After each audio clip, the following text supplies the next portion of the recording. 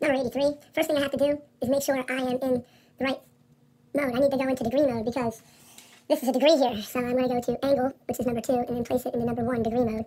Now I can just type in sine of 335 degrees. Not that big of a deal. Negative 0.4266, choice A. Cosine 65, it's still in degree mode, so I can just leave it. Cosine 65. I hope you know where these buttons are. You should. Cosine 65. That would be choice A also. Logarithm. These are kind of fun if you choose the right button. You want to choose this log base button. And then just plug it in like it looks. Put the 4 there, right arrow. And then you put in the 4096. And it squeezes out the answer pretty nicely. 6. no calculator. 7 plus 10 is 17. Negative 7 plus 4 is negative 3i. Let's see here. 17 minus 3i, 17 minus 3i, choice E. Find all the rational zeros. This is a tough one. I have to go to the table mode. So I'm going to hit menu and scroll down until I see the table mode. And then I have to type that in exactly like it looks. Okay, this is a process. So X, Xbox, to fifth, minus 5, X, Xbox to the fourth.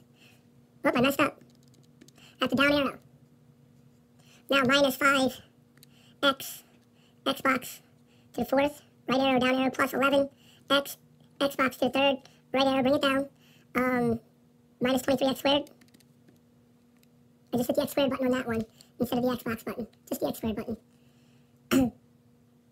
plus 28X, minus 12, enter, enter. I'm going to start at the lowest one, which is negative 3, and then to the highest one, which is 3. So I'm going to start at negative 3. I'm going to end at 3. I'm going to step by 1. Now I'm looking for zeros over on the right as I scroll down. And there's a 0 at 1, so 1 is a 0. It says I'm looking for zeros, and 1 is a 0. Scrolling down again, and 3 is a 0. So my answer is 1, 3, or 3, 1, choice A. Again, no calculator needed. 7 plus 6 is 13. Negative 10 plus 8 is minus 2i. Choice B this time. This one I thought I was going to use a calculator on, but I have to use synthetic. And when it's a P number, you just plug that in. So it's going to be that same number in the backwards box. Put the coefficients. 5, negative 10, multiply, negative 8, add, subtract, 16, I multiplied um, 13, I added um, negative 26, negative 26, that's going to give me, negative 20 is my remainder, and that's what I'm looking for. And there it is, choice C. Another synthetic, a lot of synthetic. and a P. I'm going to skip one. Calculator key in. Notice, I have to go to normal menu now. So I'm going to hit menu 1. I'm just going to hit menu 1, and then I can do normal stuff. No negative radicals or anything, so I'm just going to type it in like it looks. Parentheses, 7 minus square root 2. You have the right arrow to get out from underneath the radical. Close parentheses, open parentheses, 8 plus root 2, 8 plus square root 2. You have the right arrow to get out from underneath the radical. See it flashing underneath the radical there? Well, I have the right arrow to get out from underneath that so I can close the parenthesis. Hit equals. That gives you the exact answer, 54 minus root 2. Choice B. You can practice with the other ones. The answers are on the back. Factoring. Parentheses, parentheses, parentheses, parentheses, x, x, plus, minus, 3, 3. Choice C. Parentheses, parentheses, parentheses, parentheses, 3x, 3x, plus, minus, 1 and 1. Choice C again. It's backwards. Parentheses, parentheses, parentheses, parentheses, what times 1 equals 64? 8 and 8, what times 1 equals x squared? x and x, plus, minus. Choice A. Stare me in the face. what times 1 equals 25x squared? 5x, plus, minus 8. Choice C.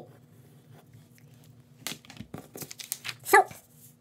Okay, I'm going to use soap for this one, 100. So I have x cubed, plus, oops. I have x cubed minus, and the cube root, shift square root, the cube root of 1,000 is 10. Minus 10 cubed. Now I'm going to use something called SOAP. I put a, a basic parentheses and a larger parentheses. Same, that's what the S stands for, so I drop that same symbol down there.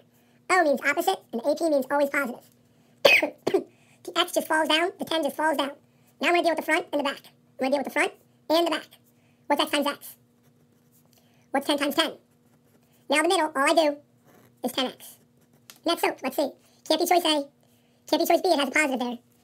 Choice C, negative, positive, positive, negative, positive, positive, x 10, x squared, 10x, 100. Choice C. Last one, we're going to use soap again. Cube root of 27.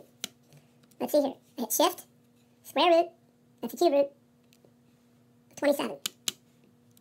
Cube root of 27 is 3. So here we go. This is going to be 3 y, the quantity cubed, because 3y times 3y times 3y is 27, y cubed. Minus the cube root of 1 is 1, so I'm going to write that. And I'm going to use SOAP again. I call these dirty problems. Small quantity, big quantity, same. That same sign falls down. Opposite. The opposite of that goes here. Always positive goes in the back. 3y falls down, the 1 falls down. Now I'm going to deal with the front. What's 3y times 3y?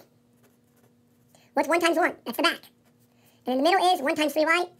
And that answer choice is not A, not B because it's plus. I need to be minus first. So it's not choice A or B. Choice C is minus plus plus, but choice C, they brought the 27 down.